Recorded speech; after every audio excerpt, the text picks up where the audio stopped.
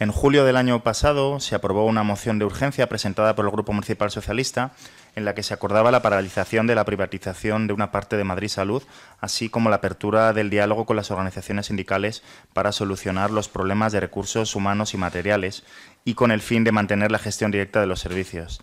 Esta iniciativa quedó rubricada en un acuerdo respaldado por todos los sindicatos de Madrid Salud firmado en septiembre de 2017 se nos plantean dos cuestiones importantes. Por una parte, como es lógico, queremos conocer el grado de cumplimiento y cómo se han gestionado los servicios recogidos en los contratos suspendidos.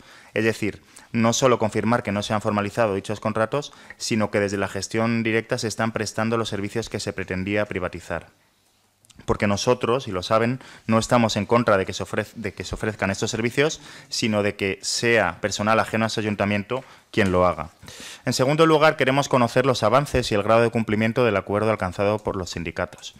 No hay que olvidar que estamos en pleno debate de presupuestos y estos acuerdos deberían tener un reflejo presupuestario que no encontramos por ningún lado en qué punto se encuentra la declaración de Madrid Salud como servicio esencial y prioritario para la ciudad de Madrid. ¿Se han hecho las gestiones necesarias con el Gobierno?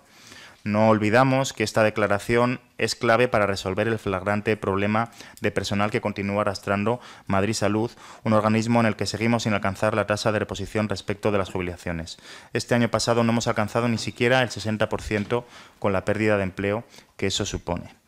Madrid Salud sigue registrando en su RPT un importante número de, plazas vacantes no ocupadas por trabajadores.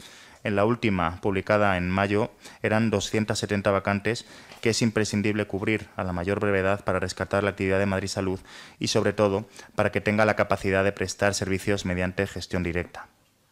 A dos días que estamos de empezar el verano, nos tememos nuevos cierres de centros en el mes de agosto. ¿O nos puede garantizar el señor gerente que los CMS se abrirán en verano con total normalidad? ¿Qué se está haciendo para recuperar la prestación directa de servicios en Madrid Salud?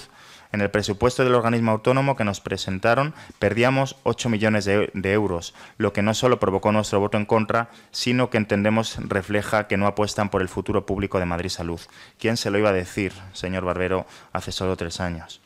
Muchas dudas y no me va a quedar tiempo para plantear todas. ¿En qué estado se encuentra la propuesta de carrera profesional y carrera sanitaria? ¿Cuál es el programa de formación que han diseñado del que nadie sabe nada? Etcétera, etcétera.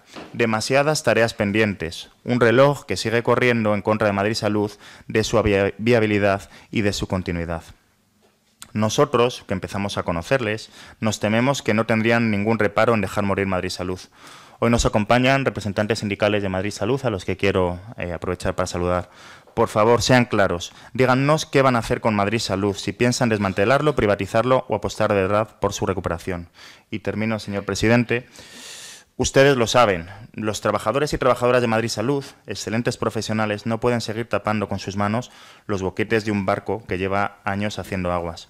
Señor Barbero, es hora de que el capitán esté a la altura de su tripulación y lleve la nave a buen puerto, aunque sea para repararla. Por favor, no esperen a que sea demasiado tarde. Muchas gracias.